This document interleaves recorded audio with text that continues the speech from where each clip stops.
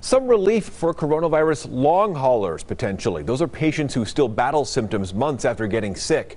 The group Survivor Corps polled 962 long haulers.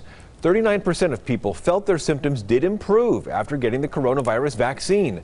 There's a Yale professor who is studying the long term effects of the coronavirus, and she's collecting samples to compare immune responses before and after long haulers get the vaccine. The vaccine induces robust antibody and T cell responses that can clear the viral reservoir or remnants that's causing the inflammation, and that would be a permanent solution to long COVID. Another theory is long-term COVID is driven by a hyperactive autoimmune response, and the vaccine may reduce those responses.